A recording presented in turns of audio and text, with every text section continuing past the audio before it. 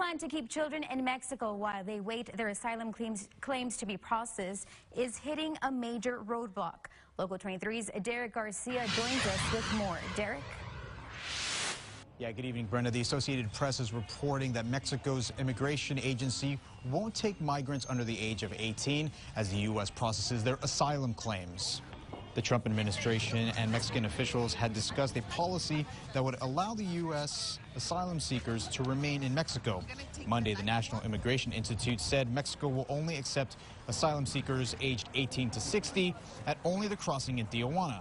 On top of the single crossing location, Mexico will only accept migrants from Guatemala, El Salvador, and Honduras, and will only give them a four-month visa.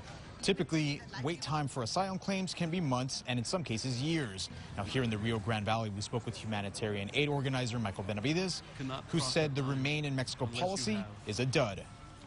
I believe that it is the U.S.'s problem. These people are coming to the United States to, to, to seek asylum, and it's, it's been happening throughout the, history of the United States. That's, that's what makes the United States great, is the asylum process, bringing in people from other countries, accepting them as one of us. Uh, I believe that it is the United States. Mexico is just, they're just a neighbor. Uh, I don't feel that, that they have either the capacity or the resources that we have. Now, for now, the policy is not being pushed across the entire U.S.-Mexico border. However, migrant activists are already saying that they are strongly against it because it opens the door for victimization and makes it harder for cases in the U.S. to be heard in asylum courts. Brenda? Derick, thank you.